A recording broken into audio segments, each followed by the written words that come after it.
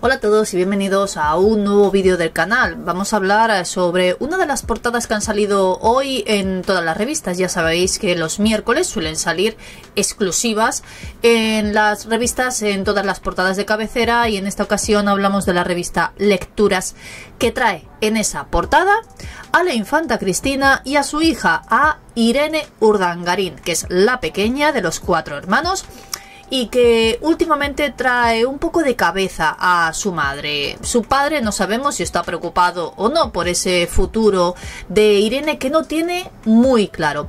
Hace ya un tiempo supimos que Irene estaba viviendo en Zarzuela junto a su abuela, doña Sofía, a pesar de que a Leticia no le gustaba nada, para intentar sacarse el carnet de conducir. Os voy a contar todo lo que sucedió en ese momento, porque parece que fue un poco desagradable, incluso casi Leticia llegando a echar de zarzuela a la sobrina de Felipe, es su sobrina política, y parece que Cristina ahora quiere incumplir nuevamente esas eh, normas que tiene impuestas Leticia en Zarzuela. No sabemos si finalmente será así, y no porque Leticia se lo prohíba, sino porque parece ser que Irene no estaría por la labor de volver allí por lo mal que lo pasó, mientras su tía política le decía en todo momento lo que tenía que hacer y lo que no. Aquí tenemos, eh, bueno, como estáis viendo, la portada de la revista Lecturas, donde nos dicen Cristina se vuelca en Irene. Lógicamente, de sus cuatro hijos, los otros tres son independientes, tienen su propio trabajo, viven todos eh, fuera de el manto, digamos, de sus padres, sobre todo de Cristina, y la única que seguía viviendo con ella era la pequeña. La infanta Cristina incumple las normas de Leticia por el bien de Irene Urdangarín. Aquí nos cuentan toda la información, una información que viene, como os digo, a través de esta revista Lecturas, donde han dado este titular. Desde esta revista apuntan a que Cristina está muy preocupada por ese futuro de su hija y estaría dispuesta a ayudarla absolutamente en todo y principalmente a cambiar que lo que quiere hacer Irene con su futuro no lo haga y se quede un tiempo en Madrid. Eso que conllevaría que, como ya sabéis, Irene no reside en Madrid y tendría que volver a quedarse en Zarzuela, no con Leticia, sino con su abuela, que ya sabéis que les ayuda absolutamente en todo. El hecho de que Cristina ayude en todo a su hija es lo más normal del mundo, creo que lo hacemos todos los padres. Algo que seguramente no sea del agrado de Leticia Ortiz. No que se preocupe de su hija, sino que el hecho de preocuparse de su hija y Cristina querer que haga lo que os voy a decir a continuación puede repercutir en Leticia Ortiz y quizá pues eh, lleguen algunas discusiones siempre ha intentado mantener a toda la familia, no solo a los Urdangarín, lo más lejos posible, sino como también sabéis, al rey emérito, que ya sabéis dónde está, y también a su otra cuñada, Elena. A todos los quiere lejos. Irene Urdangarín decidió instalarse durante un año en el que ella no hizo nada, se tomó un año sabático y estuvo en Zarzuela para intentar sacarse el carnet de conducir. Digo intentar porque no lo consiguió. Una situación que no le gustó nada a Leticia e incluso llegó a ejercer algunas presiones para que se marchara lo antes posible. Eso llevó a que la hija de la infanta Cristina Irene decidiera poner tierra de por medio y se marchó a realizar un voluntariado a Camboya.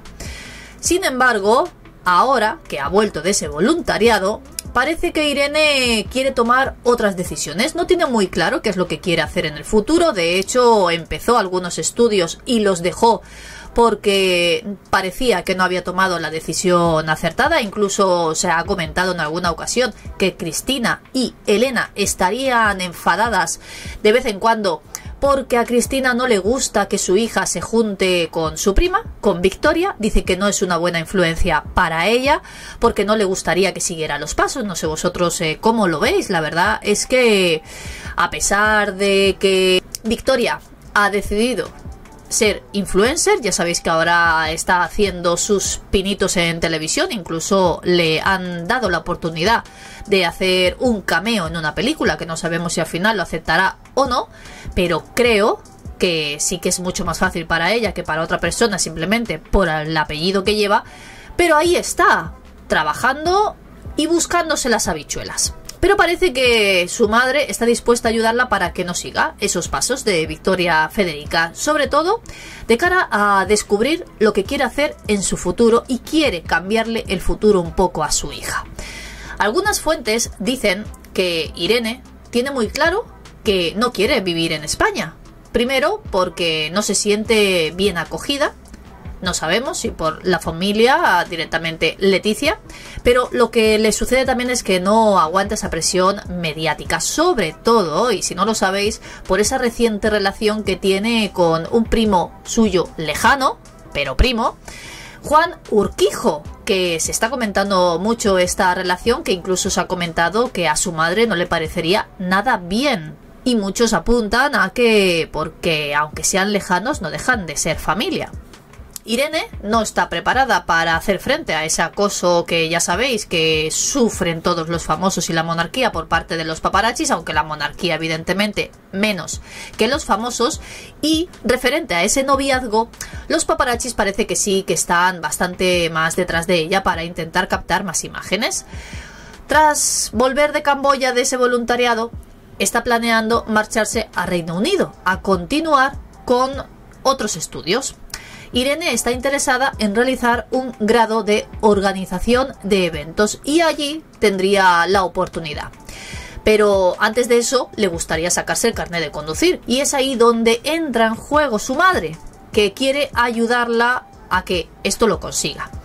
Parece que Cristina está interesada en que se quede en Madrid para sacarse aquí el carnet de conducir y planea intentar hacerla cambiar de opinión. No sabemos si al final lo conseguirá o no, pero lo veremos. Ahora mismo Irene está dispuesta a dejarlo todo, incluido a ese novio que tiene, para emprender un nuevo camino, ella sola, pero sobre todo lejos de toda su familia, no solo de su madre, sino también del resto. En cuanto a la reina consorte, todo indica que Cristina no le importaría nada incumplir esas normas que tiene Leticia en Zarzuela, que son lejos de ella, toda su familia.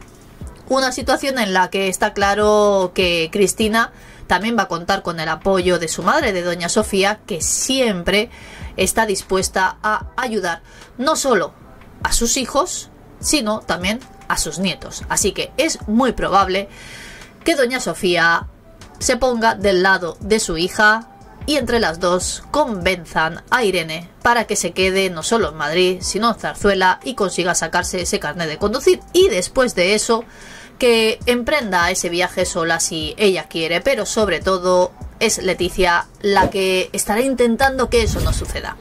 Me podéis dejar vuestras opiniones y comentarios, a ver qué opináis sobre todo lo que os he contado. Espero que os haya gustado el vídeo, ya sabéis, un me gusta para que lo vea más gente y nos vemos en el próximo.